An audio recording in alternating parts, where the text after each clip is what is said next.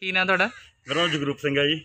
ਕੀ ਕਹਿਣਾ ਚਾਹੋਗੇ? ਅਹ ਸਭ ਤੋਂ ਪਹਿਲਾਂ ਧੰਨਵਾਦ ਹੈ ਜੀ ਤੁਹਾਡੇ ਅੰਬੇਦਕਰ ਨਿਊਜ਼ ਚੈਨਲ ਦਾ ਜਿਹੜੇ ਸਮੇਂ-ਸਮੇਂ ਤੇ ਸਾਡੀਆਂ ਜਿਹੜੀਆਂ ਸਮੱਸਿਆਵਾਂ ਨੇ ਉਹਨਾਂ ਨੂੰ ਉਜਾਗਰ ਕਰਦੇ ਨੇ।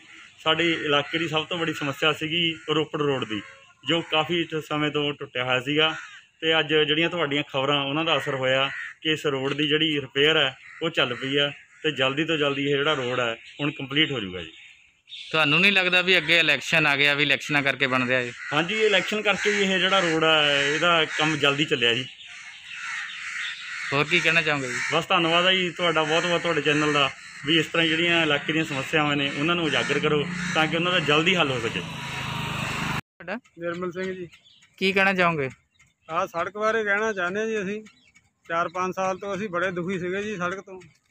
ਆਲ ਦੁਆਲੇ ਖੇਤ ਆ, ਜਦੋਂ ਗੱਡੀਆਂ ਗੱਡੀਆਂ ਲੰਘਦੀਆਂ, ਬੱਟੇ ਖੇਤਾਂ 'ਚ ਜਾਂਦੇ ਆ ਜੀ, ਪਰੇਸ਼ਾਨ ਬਹੁਤ ਹੁੰਦੇ ਆ, ਧੂੜ ਮਿੱਟੀ ਬਹੁਤ ਪੈਂਦੀ ਆ ਜੀ।